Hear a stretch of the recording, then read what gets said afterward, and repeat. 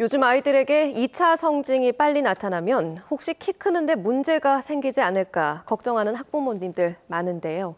그러다 보니 성호르몬 억제 주사를 맞는 것이 유행처럼 번지고 있다고 합니다. 하지만 주의해야 할 점이 많습니다. 윤혜림 기자가 취재했습니다. 올해 초등학교 3학년이 되는 김모 어린이. 최근 가슴이 발달하기 시작했는데 부모의 걱정도 덩달아 생겼습니다. 그 나이보다 성도 수증이 빨리 진행이 돼서 혹시나 키가 크지 않을까 하는 걱정이 제일 크고요. 그리고 다른 애들보다 또래보다 빨라져서 음, 놀림감이 사실은 되지 않을까.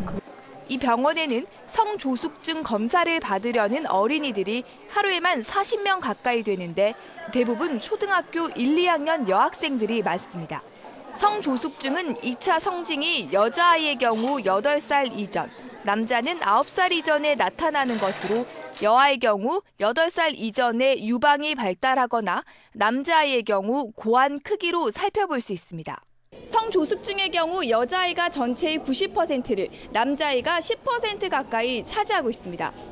실제적으로 사춘기가 너무 일찍 오면 여성 호르몬에 의해서 성장판이 조기에 다쳐버리니까 자기가 클 수 있는 키만큼 못 크고 남자의 경우에는 성조숙증 환자의 70%가 넘게 뇌종양 같은 질환이 발견될 수 있어 오히려 더욱 주의가 필요합니다.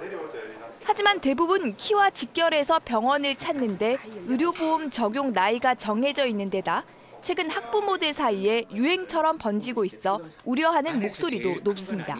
그러니까 아이가 사춘기가 들어가지도 않았는데 사춘기 지원 주사를 놓으면 그 호르몬에 대한 여러 가지 교란이 일어나기 때문에 상당히 심각한 문제를 일으키게 됩니다.